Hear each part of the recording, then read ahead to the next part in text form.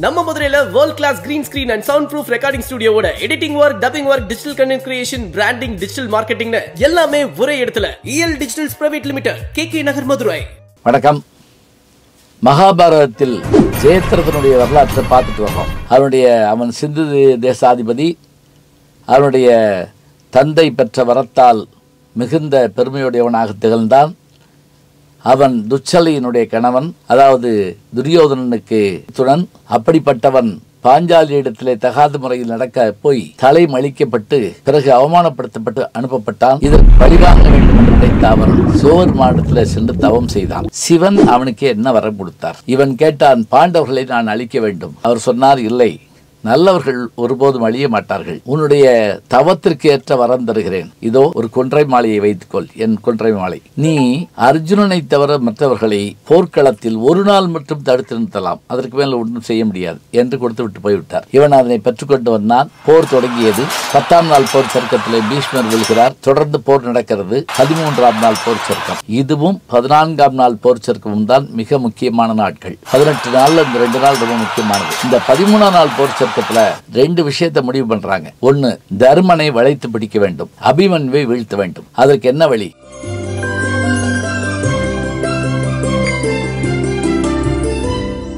துரோணர் சக்கர வியூகத்தை இந்த சக்கர வியூகத்துக்குள் சென்று வெளிவர மூன்றே மூன்று பேரால் தான் முடியும். ஒருவர் கண்ணபெருமான் மற்றவன் அர்ஜுனன் மற்றவன் அபிமன்யு. ஆனால் அபிமன்யுக்கு உள்ளே போக தெரியும் வெளியே வர தெரியாது. அது தாயினுடைய வயிற்றில் இருந்தபோது அவன் கேட்ட கதையின் ஒரு பகுதியாக அவன் உள்ளே செல்லுகிற வாய்ப்பும் வெளியே வருகின்ற அந்த கதையை கேட்பதற்கு முன்பே அவனுடைய தாய் விழித்துக் கொள்கிறாள் இப்போது இந்த சக்கர வியூகத்தை வகுத்து ஒன்று தர்மனை சிறைப்பிடிக்க வேண்டும். அடுத்தது அபிமன்யுவை கொள்ள வேண்டும் என்று முடிவுக்கு வந்து போரை தொடங்குகிறார்கள். அப்போது துரோணர் சம்சத்தகர்கள் என்கின்ற அந்த தேர்ப்படையினரை அழைத்து நீங்கள் எல்லோரும் சென்று அர்ஜுனனை போருக்கு அழையுங்கள். அவன் அழைத்தால் வராமல் போக மாட்டான்.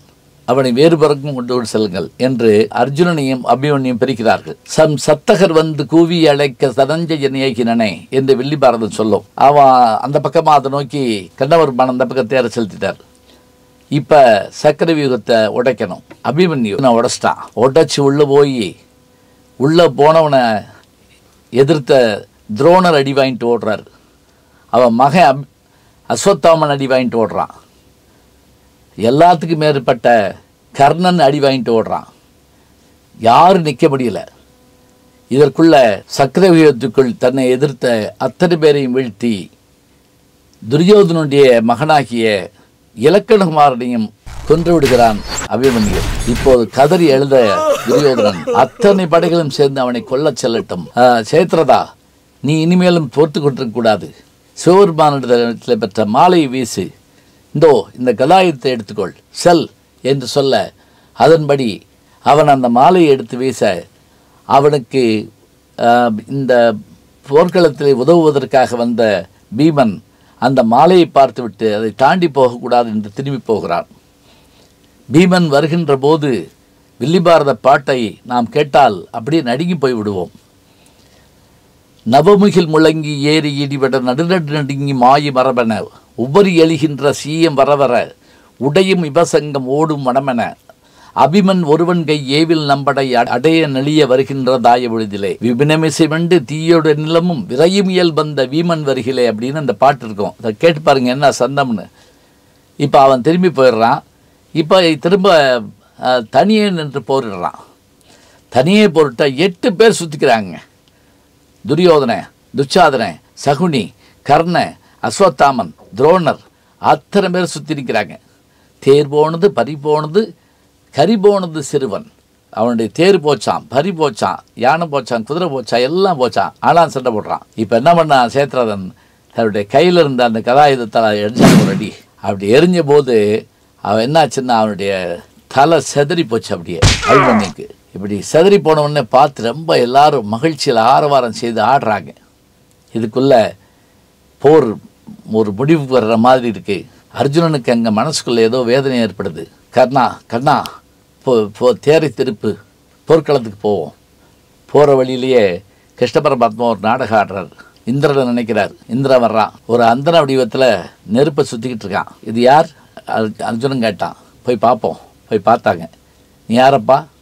என் மகன் இறந்து போயிட்டான் போர்க்களத்தில். அதனால் நான் தீ வெள்ளத்து உள்ளே சாக போகிறேன் உடனே அர்ஜுனன் கேட்டான் மகன் இருந்தால் நீ தானப்பா பழி வாங்கணும்?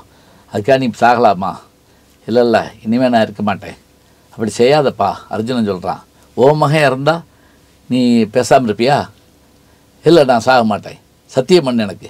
சத்தியம் பண்ணுறேன் சத்தியம் பண்ணி கொடுத்துட்டு அவன் புறப்படுறான். அவன் மறைச்சிட்டான் வந்தா தன்னுடைய மகன் இறந்தாங்கிறத கேட்டு அதிர்ந்து போய் என்ன செய்யட்டும்னு சொல்லி கிருஷ்ணா நெருப்பை மூட்டு நான் நெருப்பில் சாக போகிறேன். உடனே கிருஷ்ணன் சொன்னார் இப்போ தான் நீ சபதம் பண்ண போர்க்களத்தில் சாக மாட்டேன்னு. என்ன இப்படி கேட்டாலும் சொல்ல விட்டுட்டியே.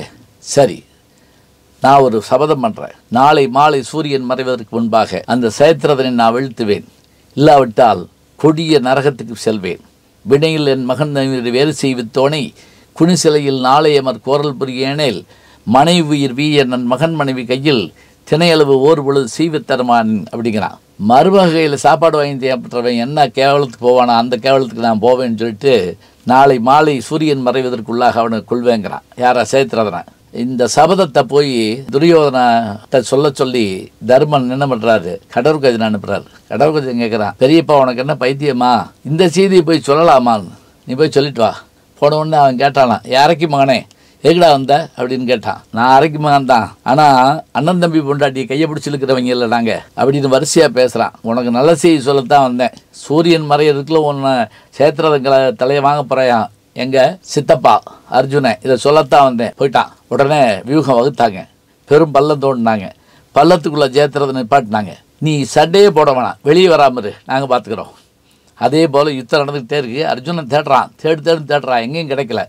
சூரியன் மறைய போகிறான் மறைஞ்சு மறைய போகிறான் மறைஞ்சிட்டா இவன் இதாகிட்டா அது அன்னைக்கு சபதத்தில் தோத்துட்டா அவன் செத்து போகணும்.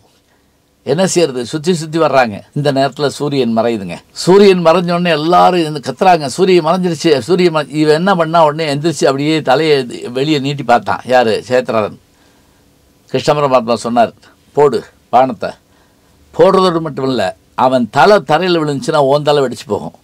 அதனால் ஃபுட்பால் மாதிரி உன்னுடைய அம்புல ஏற்றிக்கிட்டே போகும் அங்கே மாலை நேரம் ஆயிடுச்சுன்னு நினச்சி அவனுடைய தந்தை அவன் என்ன பண்ணுறான் அவன் வந்து சத்யாவந்தனம் பண்ணிட்டு இருக்கான். அவன் கையில் போய் விழுக வை. அதே போல் இவன் விழுக வச்சான்.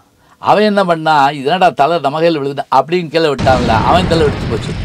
அப்படி மகனும் ஒரே நேரத்தில் செத்து போயிட்டாங்க. இப்போ இந்த சபதத்தை போட்டு தன் மகனை கொன்றவனை கொன்றான் சயத்திரதன் இத்தனை சாதனைகளை செய்து தீய குணத்தால் இறந்து போனதையும் பார்க்குறோம். அப்போ தாங்க கிருஷ்ண பரமாத்மா ஒரு வார்த்தை சொல்கிறாரு அர்ஜுனன்ட்ட அர்ஜுனா இயற்கையோடு விளையாடாத. ஓம் வீரத்தை காட்டுறதாக நீ சொன்னது சரிதான். ஆனால் சூரியன் மறைவதற்கு முன்பாகன்னு சொல்கிற பற்றியா சூரியன் காலம். காலத்தை கட்டுப்படுத்த உன்னால் முடியாது. அந்த காலத்தை கட்டுப்படுத்த என்னாலும் முடியாது என்பதால் தான் நான் என்ன செய்தேன்? என்னுடைய சக்கரத்தை வைத்து மறைத்துக்கு ஜாலம் காட்டினேன். சபதமிடுகிற போது இயற்கையோடு போராடி எந்த மனிதனும் சபதமிடக்கூடாது என்று கண்ணபரமாத்மா பேசுகிற வார்த்தை இன்றைக்கு வரைக்கும் பொருந்தி வருகின்ற வார்த்தை. இந்த கதைகளை எல்லாம் பார்க்கிற போது ஆணவம் வீழும் தீயது அழியும் நல்லது ஜெயிக்கும் என்பது நமக்கு தெரிகிறது. இனி அபிமன்யு இறந்து கிடந்தபோது அப்போது வில்லிபுத்துரார் சொல்கின்ற பாடல் ஒன்று இருக்கிறது. அதை தொடர்ந்து பார்க்க இருக்கிறோம். சேத்திரதனுடைய கதை இவ்வாறாக முடிவடைகிறது. பாரதத்தில் மறக்க முடியாத ஒரு கொடூர பாத்திரம் சேத்திரதனுடைய பாத்திரம். நல்ல செய்திகளை நாளும் சிந்திப்போம் நாளை சந்திப்போம். நாளும் நல்ல தமிழ் கேட்க முனைவர் ஞான சம்பந்தம் அவர்களின் கேளுங்கள். கண்டிப்பாக கேளுங்க. நான் கேட்டுட்டு இருக்கேன் யூடியூப் சேனலை சேர்ந்து Instagram Facebook Twitter blog WhatsApp channel என்று அத்தனையிலும் நான் முன்தொடர்ந்து செல்கிறேன். நீங்கள் பின்தொடர்ந்து வாருங்கள்.